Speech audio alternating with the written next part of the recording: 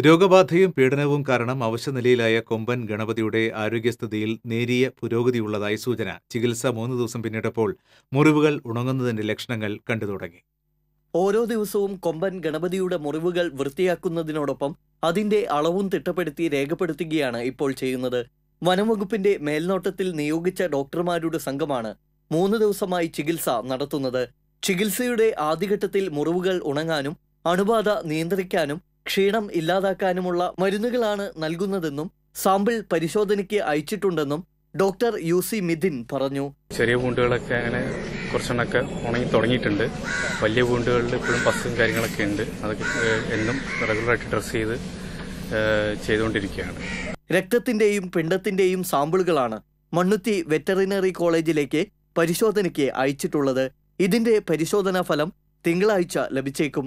പരിശോധനാ ഫലം ലഭ്യമാകുന്നതോടെ മരുന്നുകളുടെ കാര്യത്തിൽ ആവശ്യമെങ്കിൽ മാറ്റം വരുത്തും.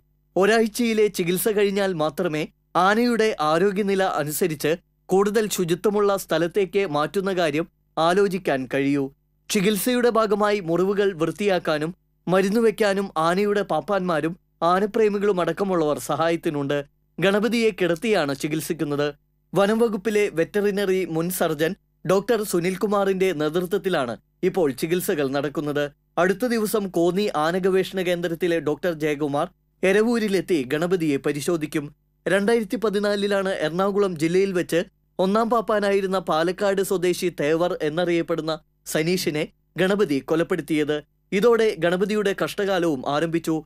എറണാകുളം ജില്ലക്കാരനായ ചാർട്ടേഡ് അക്കൗണ്ടന്റ് ഈശ്വരൻപിള്ളിയുടെ ഉടമസ്ഥതയിലുള്ള ഗണപതിക്ക് പിന്നീട് നിയമ നടപടികൾ ഏറ്റുവാങ്ങേണ്ടി വന്നു.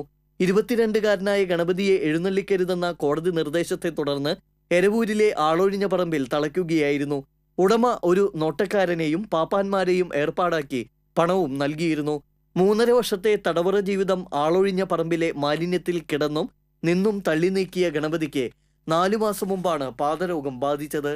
നഖത്തിന് ക്ഷതം സംഭവിച്ച ഗണപതിക്ക് മാലിന്യം നിറഞ്ഞ സ്ഥലത്ത് നിന്നുണ്ടായ അണുബാധയായിരിക്കും ഗുരുതരാവസ്ഥയിലേക്ക് നയിച്ചതെന്നാണ് സൂചന. T C Vinos Mala.